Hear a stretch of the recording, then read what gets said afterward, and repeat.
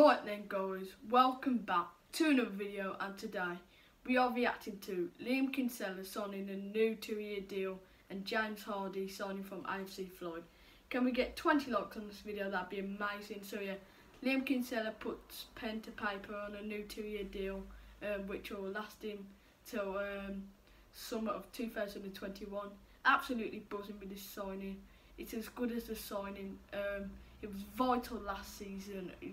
Uh, one of our better players last season, probably our best player in a poor season for the Saddlers. Um, and yeah, he's an engine in the midfield. Um, tough tackler. Um, knows how to pick out a pass, and yeah, he's very passionate. Um, he could have gone to League One clubs who were interested in him, but he stayed. And to be honest, I think he deserves the captain's armband. Come through the academy. He's come up through the academy at Walsall, and yeah, he knows what it means to play for the club. Um, he said it's a dream come true, coming up through the um, ranks at the at the academy and getting in the first team. It's a dream come true to him. Um, and yeah, um, Darrell Clarke um, talked with him obviously and wanted to keep him, which is brilliant to see. Um, so yeah, Dobson might be on his way out, which is disappointing. Could be going to clubs like Hull. Um, so and Barnsley, I think, are interested in him too.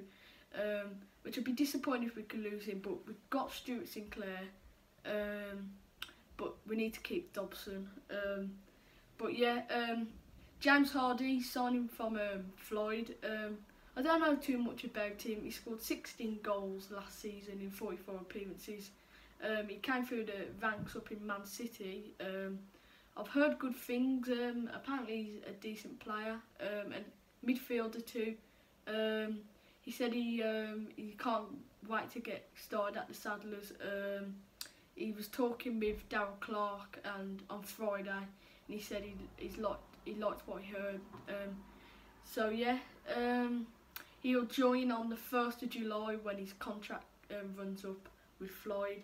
So yeah, um, at least it's another player signed. Um, I think we got ten players now. Uh, I think we went back in today, so yeah, pre-season starts for the Saddlers. Um, so yeah, um, leave a comment down below what you think of the Liam Kinsella extending his contract and James Hardy signing from AFC Fylde.